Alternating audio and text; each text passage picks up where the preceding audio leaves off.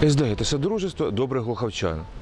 Оно появилось летом 2014 года. Э, Одна мамочка в соцсетях написала, а именно в контактах, как плохо, что на площадке в городе Глухове жарко и нет никакой тени от деревьев. Я, я ответил, а кто мешает это все сделать? Слушай, мы будем ждать от кого-то подачки или какого-то пиара от каких-то больших дядей, от депутатов или кого-либо еще перед выборами. Нет. Мы взяли, собрали, говорю, соберемся, давайте купим, соберем деньги, купим и посадим. Вот и все. И вот в январе, если я не ошибаюсь, в январе вроде, да, в январе состоялась первая встреча Содружества добрых глуховчан. Встречи вживую повлияли очень сильно, если сравнивать с обычными разговорами в соцсетях, очень сильно повлияли. Люди начали знакомиться. Всегда су- су- существуют в таких моментах психологические барьеры. Ой, а как? А как мы будем знакомиться? Там как-то при встрече была какая-то скованность первый раз. Все-таки, ну как, люди друг друга уже узнавать это тоже процесс определенный, занимающий время.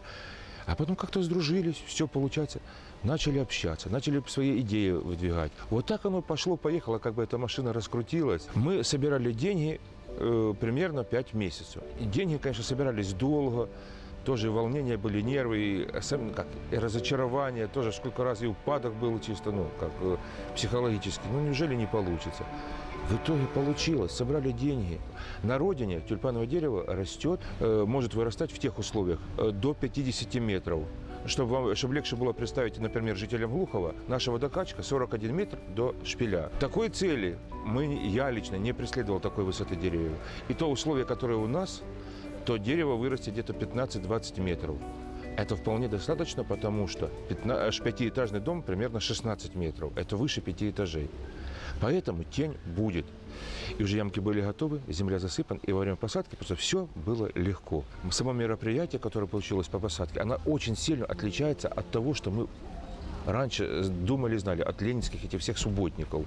Сажались деревья, была ярмарка благотворительная. Люди города откликнулись на призывы как содружества, тех, кто уже успел как сделать костяк содружества, на призывы откликнулись и начали сносить ненужные книги, разные безделушки.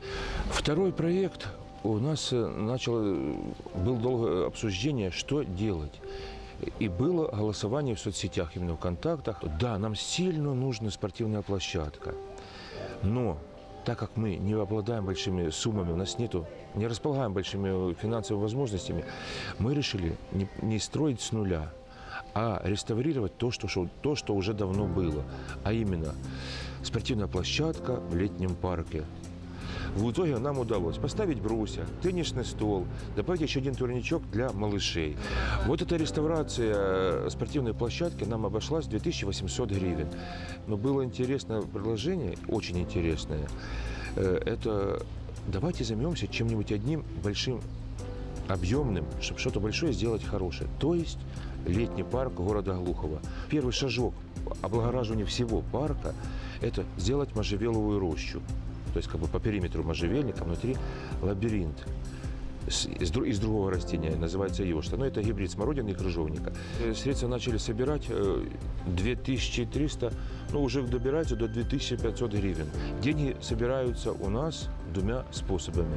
Люди перечисляют денежки мне на мою карточку, ну, кто верит, что я их не украду, никуда не дену. Второй способ, которым мы собираем деньги на можжевеловую рощу, это именно пожертвование людей прямо в тот момент, когда я катаю молодежь и детвору на 100 метровке на своей рикше. Люди подходят и говорят, на проект деньги. И дают деньги. И часто говорят, вы молодцы. Когда они говорят, вы молодцы, они должны понять, что это мы молодцы. Они должны говорить, что они тоже. Они же для себя этого делают. То есть молодцы все. Все жители Глухо- Глухова, то есть Содружество добрых глуховчан. Содружество добрых глуховчан. Сделай свой город лучше.